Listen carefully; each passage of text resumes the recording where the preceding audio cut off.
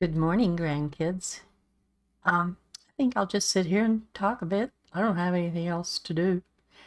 Um, I put up a blog again this morning, so you might want to go and read that and talk to me over there. Uh, I'll put a link to it if I remember down below. um, let me see. The weather is so beautiful outside, and I want to.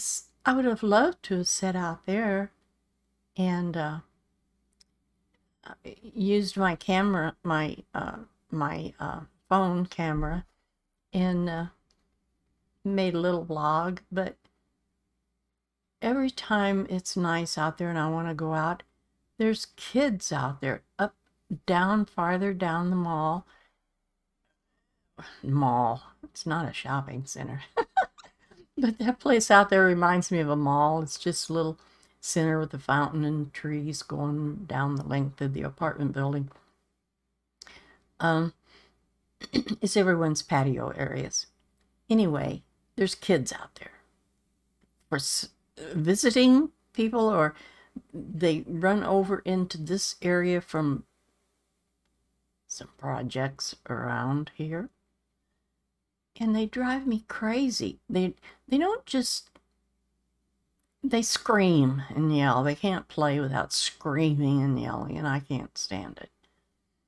So if I do take anything out there to do, like to write or just sit out there at my table and read, I have to just pick everything up and come back in and slam the door shut. yes, I slam it shut. Sorry. Um, sometime in the soon future, the maintenance men are going to be coming over and taking these patio doors out and replacing them with new ones. They're already working on the ladies across the hall. So uh, there's going to be a lot of racket and hammering and carrying on going on. So it's quiet right now. So I decided to make this video.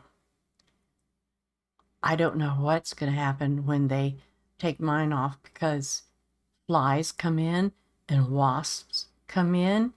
They crawl under the doorways. So when they take those off, they're going to flood my apartment and it's going to drive me nuts.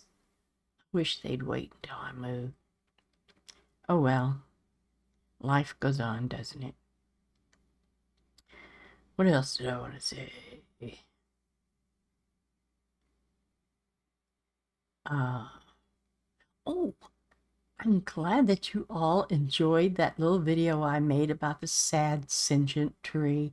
That was so fun to make. Maybe one of these days I'll make something else like that. At least it's something to do in Skyrim.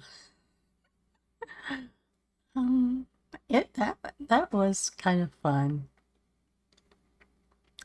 Um, remember quite a while back when I showed you the sort of the beginning or talked about a story I want to write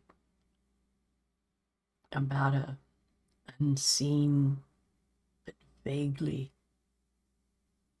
vaguely seen something up in the forest behind a small mountain village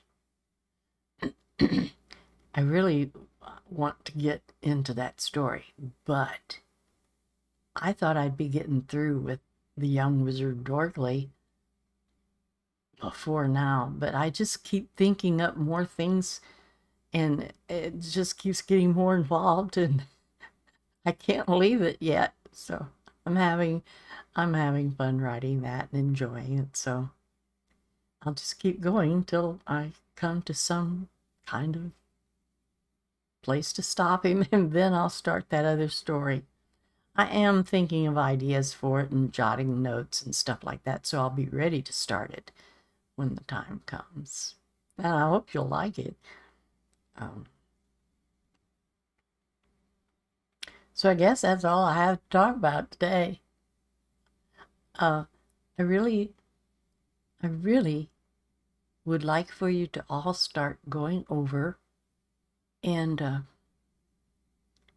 chatting with me on my blog. It's called Grandma's World of Skyrim.